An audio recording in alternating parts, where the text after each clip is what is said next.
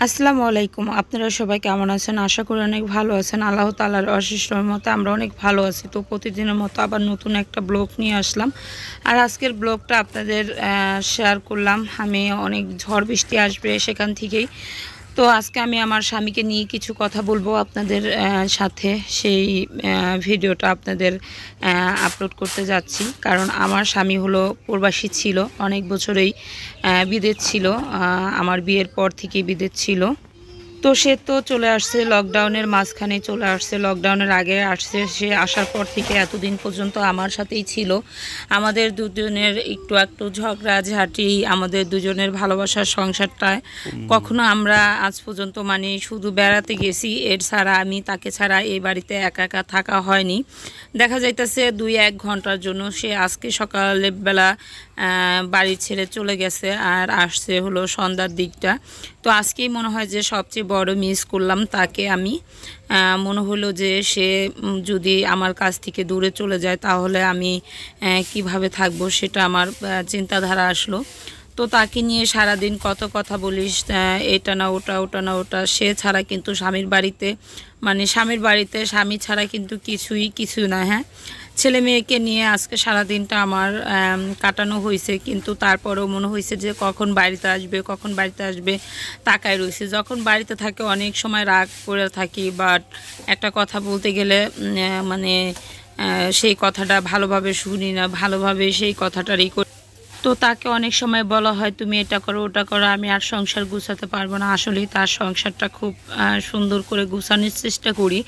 যদিও পারি না না পারি আল্লাহ জানে। আপনারাও তো আমাকে অবশ্যই ভিডিওর মাধ্যমে দেখেন আমার সংসারটা আমি কতটুকু গুছাইয়া গাছাই আপনাদের দেখাতে পারি। তাও জানি না। তো এখানেই দেখতে পারতেছেন ছোট্ট একটা ঘর। সেই ঘরটা হলো আমার ভিডিওর জন্য আপনাদের ভাইয়া আমাকে উঠাই দিতেছে।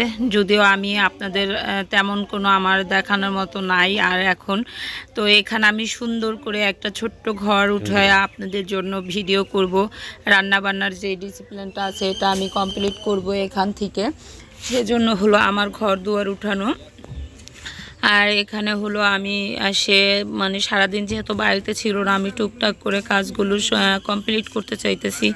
যদিও আপনাদের সঙ্গে ভালোভাবে শেয়ার করতে পারি এই জন্য তো স্বামী স্ত্রীর ভালোবাসা এভাবে হয়তো বা আসে, আর স্বামী স্ত্রী সবসময় যদি একসঙ্গে ভালোভাবে যদি থাকতে পারে, তাদের ঝগড়া, ঝাঁটি সব কিছু মন মানিল সব কিছু ত্যাগ করে একজন এক সময় রাগ হবে, আরেকজন এক সময় ভালো থাকবে বা মনটা খারাপ থাকতেই পারে, যদি সব কিছু মানে যদি না থাকতে পারে, সেই সংসারটা কিন্তু আদৌ কিন্তু ভালো থাকে না।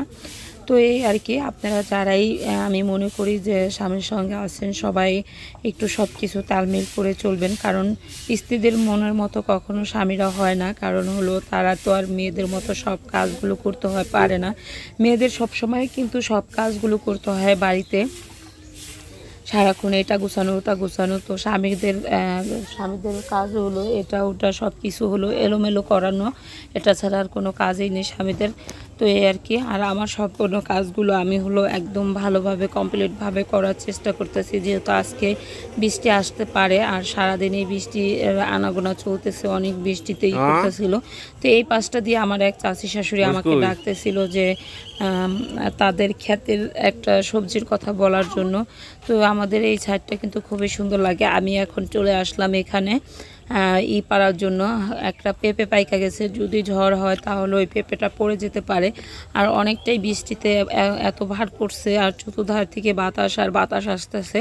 ভাবলাম যে এই পেঁপেটা আমি পেরে নিই। গাছ থেকে অনেক দিন ধরে গাছ থেকে পেঁপে খাওয়া হয় না। এই জন্য হলো আসা আর আমাদের গাছের পেঁপেগুলো এত বড় হয় মানে অনেক বড় সাইজের হয় তো আমি পারতেছিলাম। জানি না কয়টা পড়বে যে একবারই তো আমার মনে হয় যে অনেকটাই পড়ে যাবে গা দুই তিনটা এই জন্য আমার পেঁপে পারতে অনেক ভয় করে। আর গাছটা এতটাই মানে পাতলা হয়ে গেছে যদি ঝড় আসে তাহলে মানে ভাঙে যেতে পারে। এজন্য হলো বড় বড় পেঁপেগুলো যদি পায়রা পায়রা ভাঙা যায় তাহলে কিন্তু আর ভাঙবে না। তো আমি পেঁপেটা পাড়া মাত্রই আমার এটা হলো একদম ইসের উপরে পড়ে গেছে গাছের উপরে পড়ে গেছে। তো ভিডিওটা দেখতে থাকুন যদি ভালো লাগে অবশ্যই একটা লাইক দিয়ে দিবেন। না।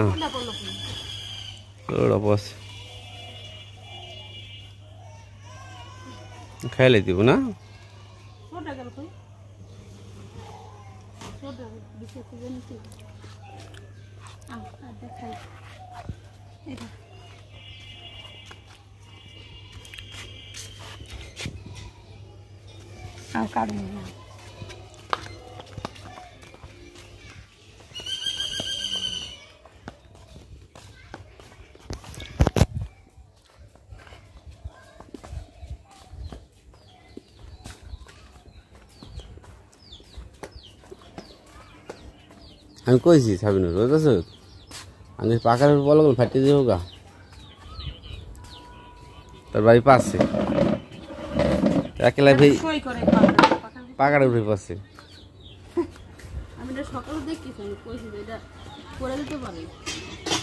যে তুফান আইতেছে তুফান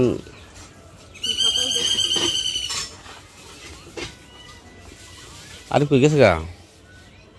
ঢাকা গেছে আর সকাল দেখা যায় এই দেখা হন যায় না। সকাল তো যাইতে পারে যে ফ্যান কিনবো কয়া। হুম। আমার কাছে ফ্যান পাঠাবো ফোন কিনে না। ফোন টোন কিনে আনো নাকি? আর ও একটা আমি কইছি যে মাঝে নিয়া। গাড়িতে করে মাঝে। সব হ্যাঁ বলুন না ফাটলে এক জিনিস দেই তো দেখো মনে লাগে কষ্ট করে। এই যে ওরা কি সুন্দর করে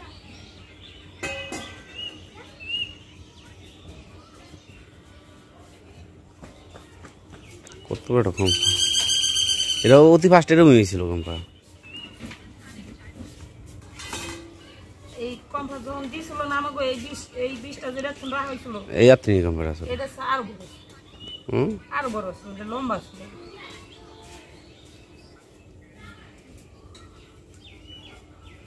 কম্পাটা এখনও পর্যন্ত আমার চোখে লাগছে কি? তোমার বাড়ির কাছে কম্পা ছিল কি আমু গোসল করবি? কর। গোসল করার নিষেধ নাই গোসল কর। কে দিছে ওসমান বালি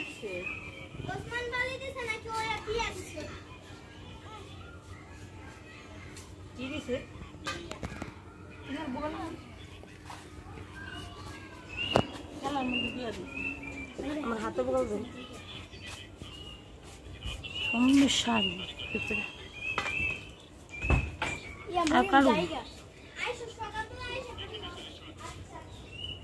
গোসল গোসল মুখ দেখে একটা দুটো বেশি খেতে পারব না।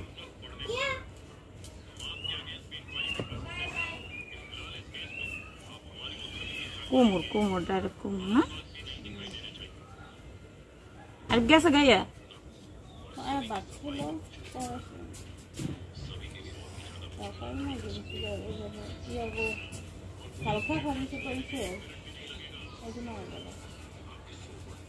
ওটার পিছু বাইন্দা নিয়ে এলি একটু ফ্যান আনতে গিয়ে বলি লাগবে মানুষ লাগবে সাদা ফ্যান জানি না